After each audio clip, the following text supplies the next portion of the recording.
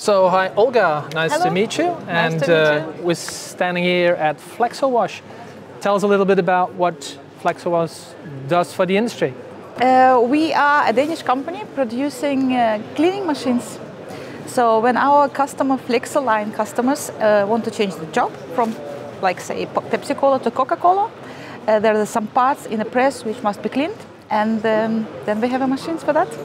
Uh, we do anilox cleaning, plate washing, uh, part washing, sleep washing, you name it. Wow. Yeah, obviously, well, a part is in the name, Flexo. Yeah. Uh, so a lot of the, let's say, uh, embellishments and, and are done after the printing, of course. Yes. Uh, a lot with uh, Flexo units. Uh, and so you come in and provide solutions for the cleaning of, of those aniloxes, for example. Instead of do it manually, we do use it machine. Okay, you were earlier talking about kind of a washing machine type of uh, uh, equipment. Yeah.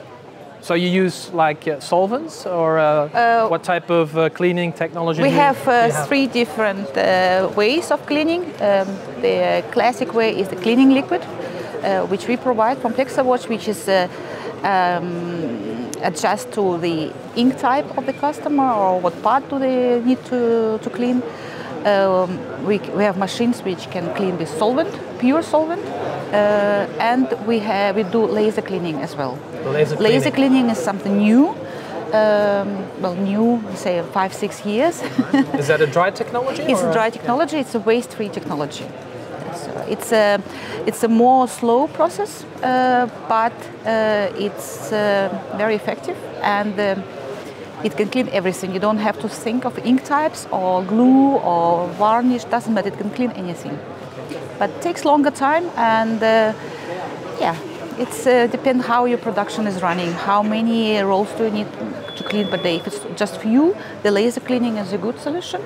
If uh, you have a lot of change, uh, then uh, we always advise uh, the classic way The cleaning liquid- liquid. Yes, liquid ones, it's yeah. faster.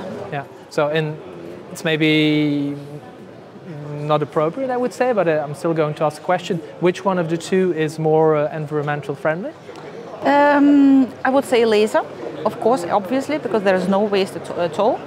But um, it's not the technology which suits all uh, customers. Right. Okay. So, and I guess if you do like the the regular, let's say, cleaning with uh, with with the liquids, uh, then the residue is like collected and then probably recycled uh, off-site. or Something. That's yes, what most do. yes. Uh, okay.